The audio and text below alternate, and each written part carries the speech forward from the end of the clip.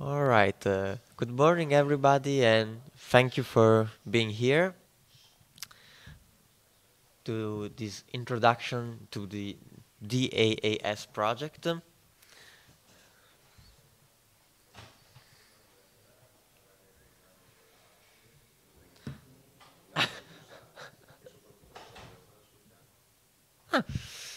Magic. Um, yeah, a bit about myself. So my name is Marco Marinello. I'm a freelance developer and system administrator. I have also developed uh, with uh, a partner the new application for the membership committee.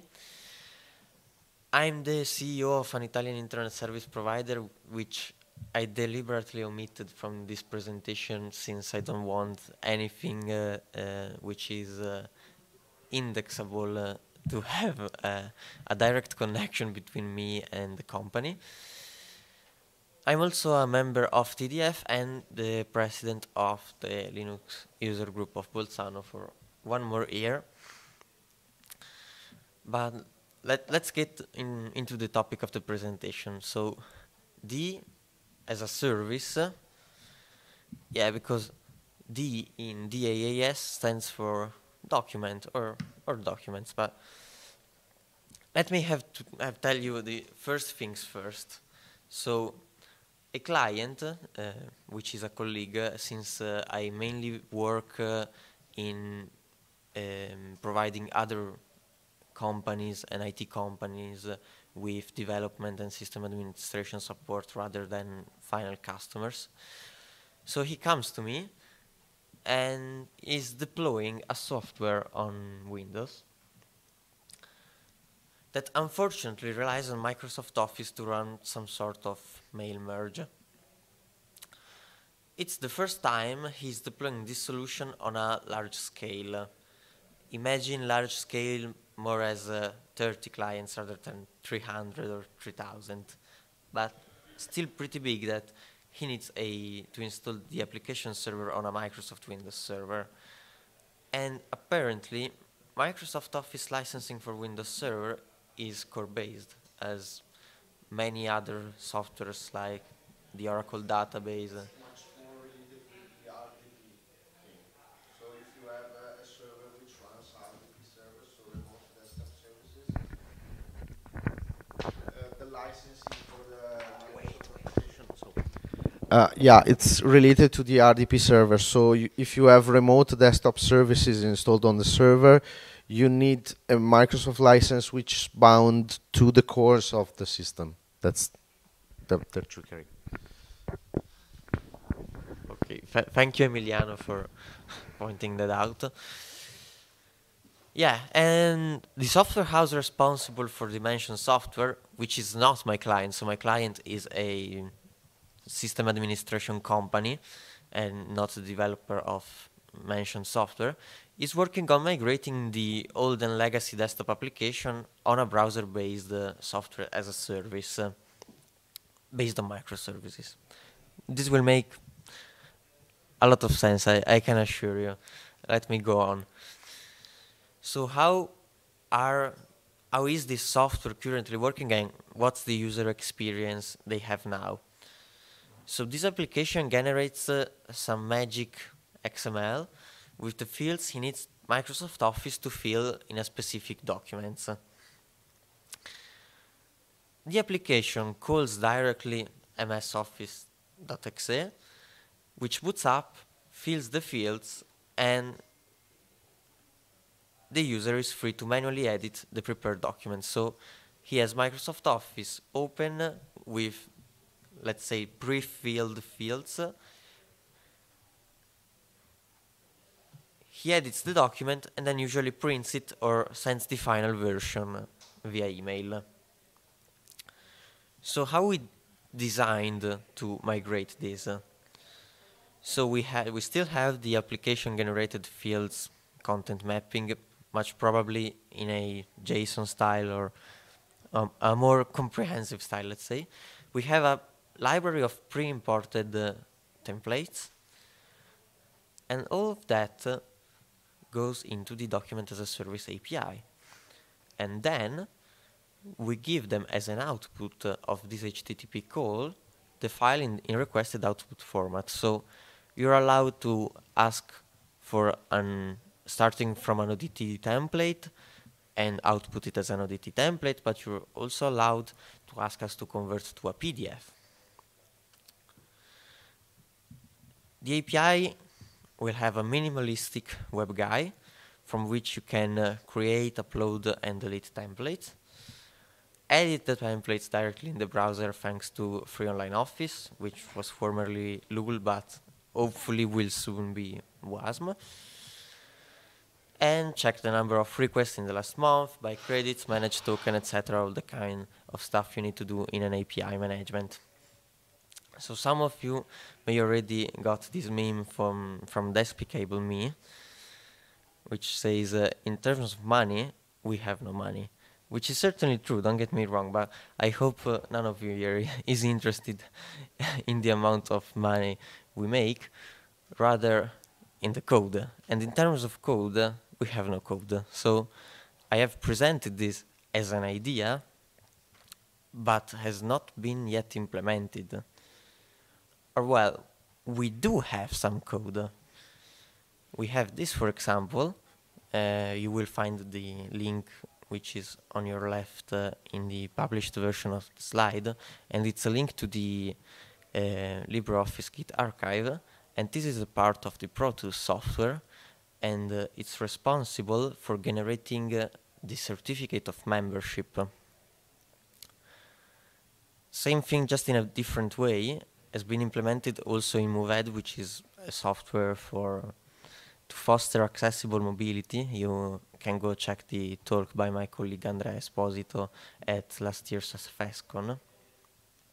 And both this implementation rely on ODF by the, by the European Environment Agency. So as you can see, it's the library we actually use to edit the content of the document. And then we launch uh, the LibreOffice headless executable and ask him to convert uh, the ODF document into a PDF. This has to be still considered in an alpha stage. It's certainly not adequate for large scaling, lacks of any kind of cache, is missing support to FODT, although it's not our fault since it's, it's not supported upstream by the ODF Py library and needs all field to be created as a text. So while you're creating the template in LibreOffice, uh, you need to always insert uh, a text in the field you're creating.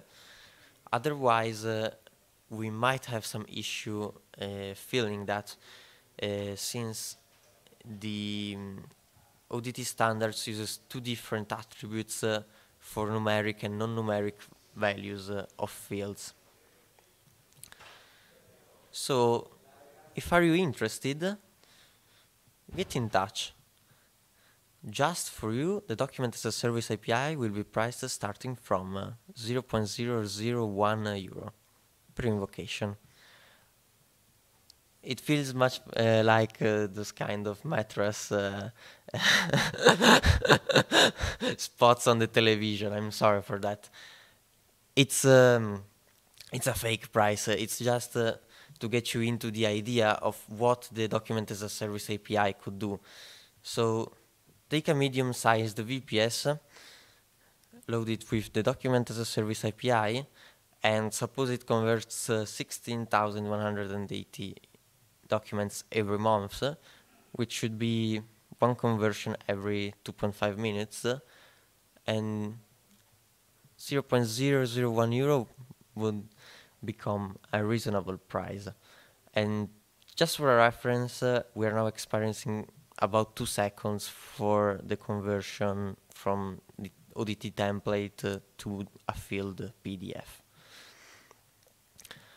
Of course, a more advanced, reliable setup uh, would need uh, a much more reliable infrastructure. So possibly based on some kind of uh, orchestration, maybe Docker Swarm or Kubernetes, we can, which can scale on demand based on the volume of requests uh, is currently encountering.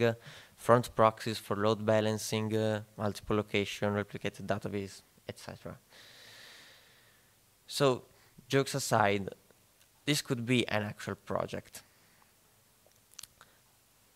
I personally can foresee a relatively wide audience of developers, so colleagues, that are willing to pay to externalize documents handling. So they have their own application, uh, they just need to load uh, an ODT template to our platform, uh, and then with an HTTP call, being able to convert any kind of template into PDF and give them back uh, uh, to their users. So it would be, let's say, a, zero knowledge uh, implementation for them since uh, it would only require an HTTP request, which is quite standard stuff for a, for a developer. Of course, uh, software as a service and microservices-based architecture are become more and more popular, so would be a, a, a useful component to have in, in your own infrastructure. And uh, also from a economical point of view could be a pretty solid project. In, the, in this context, we would have also stimulated the migration to LibreOffice. So the client that uses uh, uh, Microsoft Office uh, to generate and fill the templates obviously has also the templates uh, in uh, Microsoft formats. and we had planned to do a one-day conversion with just converting all the doc, uh, docx, uh, etc. templates into ODT and import them uh, into the, the new software. And could be a great uh, with LibreOffice technology product. So a realistic timeline to deliver this kind of solution would be approximately a month and a half to develop the core part of API and GUI and one month for bug fixes and implementation into your own software. So if you're interested, it's something that can be really done. It's, it's not just an idea. All right, thank you for listening. And it's time for questions.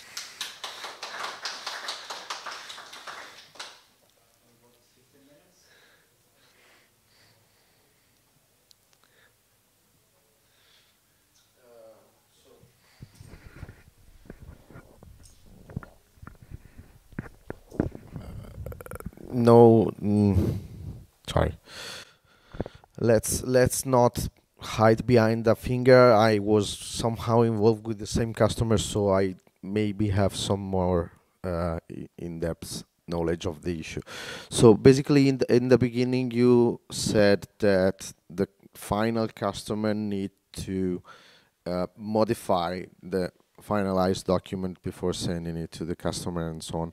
Have you got any idea on how to implement that on a, on a service perspective?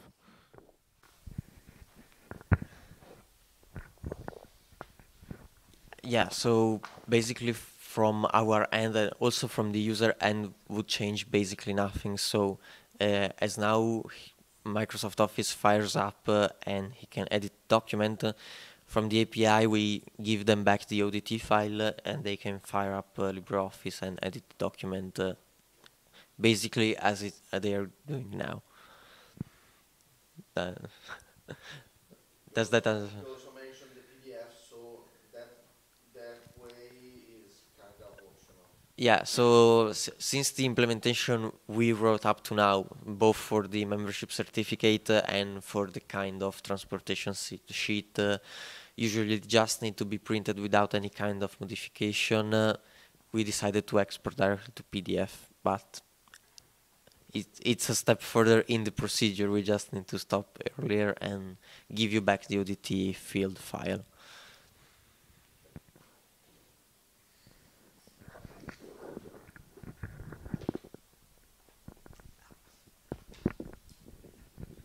Sorry, since I am also kind of privacy nerd, well, that, that probably is the first thing that comes to mind. So you're offering it as, as a service. So it means that there are some organizations that will need to populate this field with data. That could be also personal information or maybe confidential information within the, the document. How are you going to be able to ensure that actually this data is not being seen, not even by the system administrator running the service, and the uh, and the user actually will expect that none of this information will be kind of leaked in any way. And is it possible then also to say, okay, I like the service for I don't know some mailers which you know are not that uh, uh, let's say risky in terms of information, and then I would like also to have a VM or a service spun off on my private cloud so that I, I make sure that all this information remains within my kind of protected environment.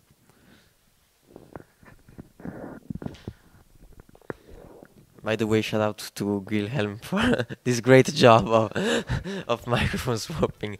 So, beginning from the end, yeah, of course it will be possible. So, you just need uh, to fire up your own Linux virtual machine, uh, install the software which will be open sourced, and you'll have your own instance of the API. On in terms of privacy and so on, I can see two levels. So the lower one in which you are willing to fill a document we have, uh, there will be no conservation. So all the data you're transmitting to us uh, will expire in, in the time of the call. So once we answer your, HTTP call, data will be gone. No. Another level would be on the templates. So I can imagine uh, we are going quite deep, but uh, since we have time, let's assume uh, uh, some usage by I don't know banks uh, or uh, medical institution, etc. I can imagine they might have some kind of restricted information also in the templates themselves, and, and not just in the data they are filling that that's uh, a bit more difficult. So the um, their own instance of the API would probably be the better uh, um, the better solution since there is no easy way to get away with uh, of encrypting the templates uh, or anything like that. So since yeah we, we would expand the elaboration time since we need to decrypt the template and so on. and I don't know how many real customers that need this kind of feature but don't, are not willing to pay for their own instance there are. So.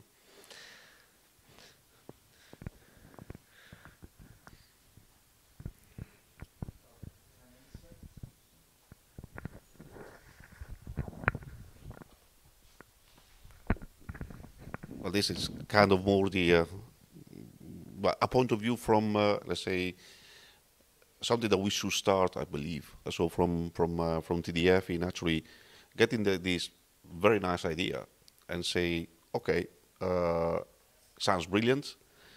Now, what should we do about it? I mean, uh, should at this point TDF says, okay, we would like to sponsor the the, the idea support it, and so on. Uh, but then naturally, you know, it's nice to have a so kind of clear rules. So if we we work together, so we, uh, we we contribute to the to the project, then it would be nice to say, okay, there is a commercial opportunity out there, but then there is also something that the wider community at this point is going to be able to actually uh, use without coming up with some, let's say, commercial problems in, in, in, in, there so that everybody actually benefits from what is being developed together with the, with the rest of the community. Do you see any kind of limitations or problematic, you know, that from that, that point of view?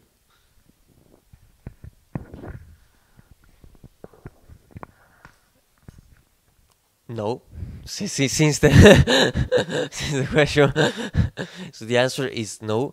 Um, but I personally think that the most contribution that TDF could do is more in terms of uh, visibility of the project. So not that much as, uh, of, of course, but money is always uh, uh, is always a benefit, but uh, mm, the most difficult uh, part of the project uh, uh, from my point of view is to find the users, so the developers that are willing to use it. so a customer base uh, substantially, uh, which could also be a customer base of people just deploying the product uh, on their own. But to problem I think is to gain uh, an arbitrary number of users that are needed to be able to tell that the solution is alive. But of course, feel free to chat with me later about.